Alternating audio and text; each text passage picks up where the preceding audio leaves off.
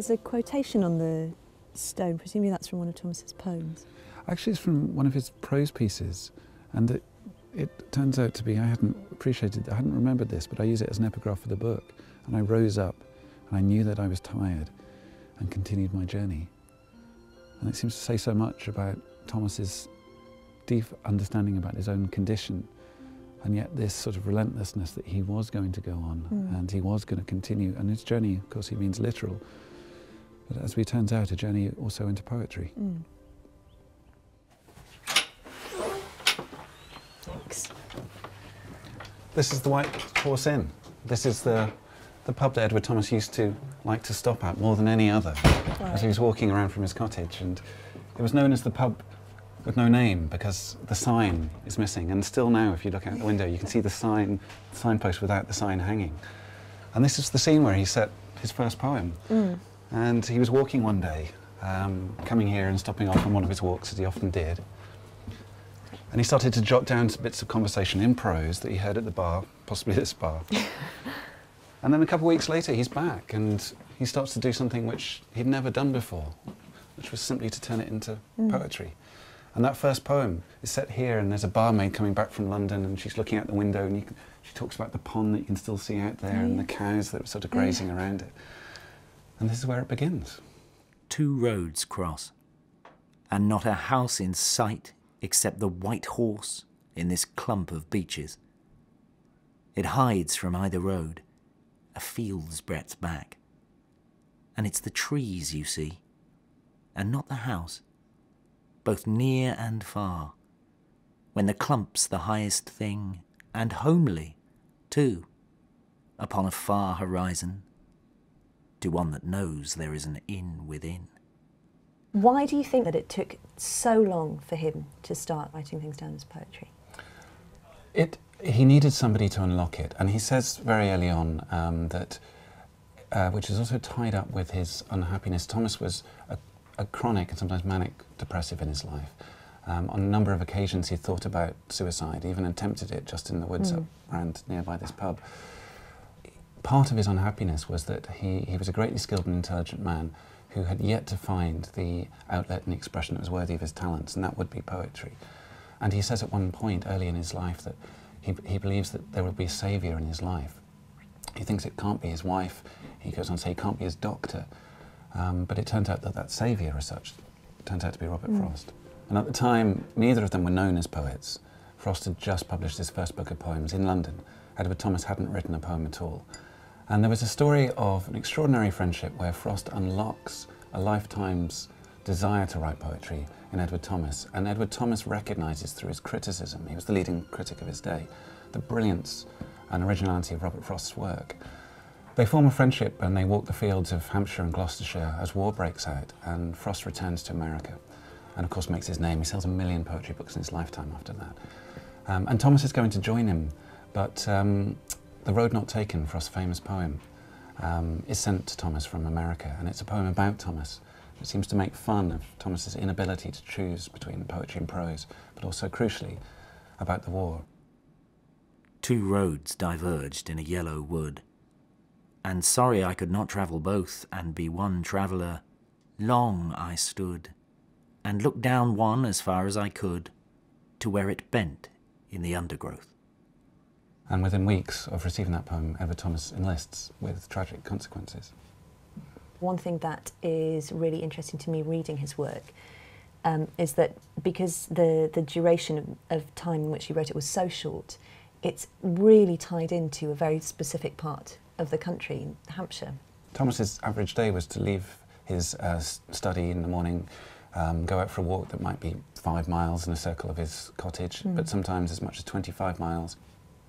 His working days were long, and as he told Robert Frost, I'm burning my candle at three ends Mm. just to make a living. And that often meant uh, starting at eight and finishing at one, with just breaks for lunch and home for his supper. And these are the views that he looked out on from his study over what he called Look 60 miles of South Downs in one glance. It's so beautiful, and particularly on a day like today, it's just astonishing. And this landscape obviously inspired so much of his poetry. It did, and it's the setting for so much of it. But his whole writing life, and not just his poetry, all his prose, so much of it was topographic, written Mm. walking these hills and filling in his notebooks, what he would see and the birds and the Mm. trees that he was writing about. But of course, there's a great link between walking and poetry and the rhythms of footfall, both in Mm. verse and in, and in life. And of course, the same is true for Wordsworth.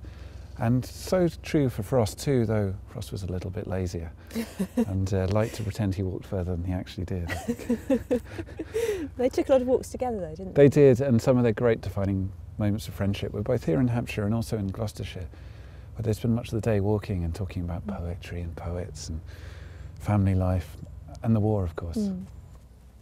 He was a father of three who married his teenage sweetheart but suffered long periods of depression in his family life and could be very, very cruel. He could berate his children he could humiliate his wife. And one of the ways he dealt with that, because it, it, it tore him apart, was he thought to take himself away from it and to get himself away from his family so he couldn't hurt them anymore. Mm. So he'd go from weeks and sometimes months on end to save them as he saw it, more pain. But of course, they simply missed him terribly.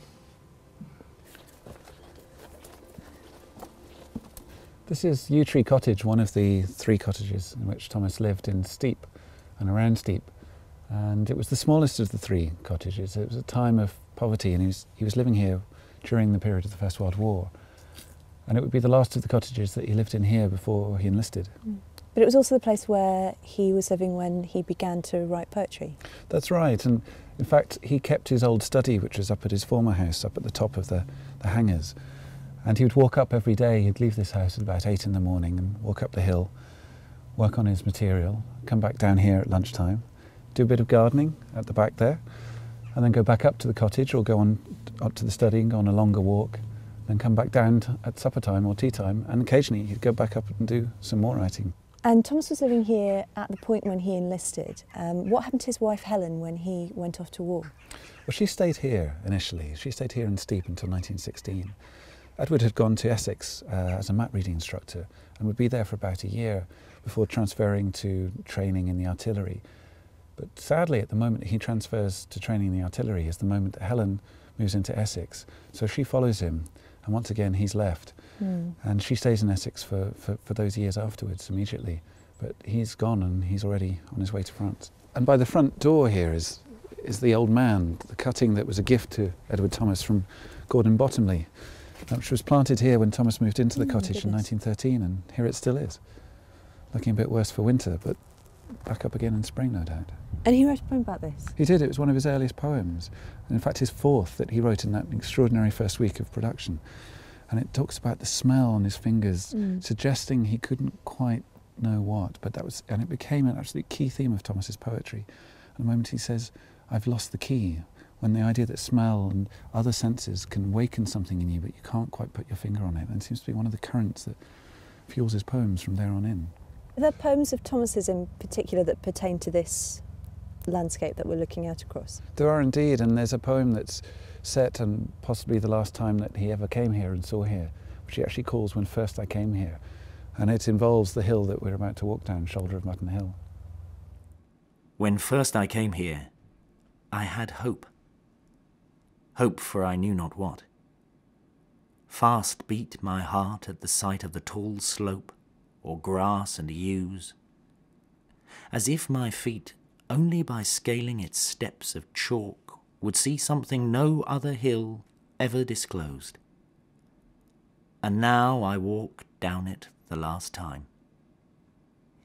And we also have on the plaque on the stone Thomas's dates, born in Lambeth on the 3rd of March 1878 and killed in the Battle of Arras 9th of April 1917. How did he die?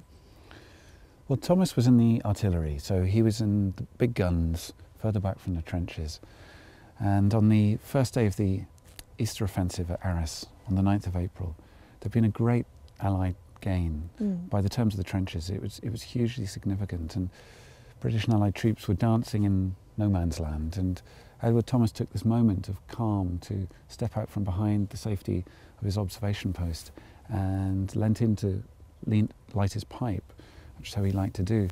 And a shell passed so close that it seems to have drawn the air straight out of his lungs and stopped his heart. And he fell without a single mark on his body.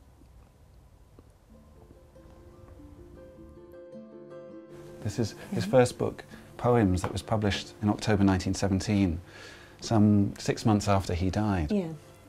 But it doesn't. he knew it was coming, didn't He he? knew it was coming exactly. It doesn't actually include the poem that's set here. It's a shame. He, Yeah, he held that true. back, but um, it does include half, almost half of the poems that he ever writes are in this, this one book.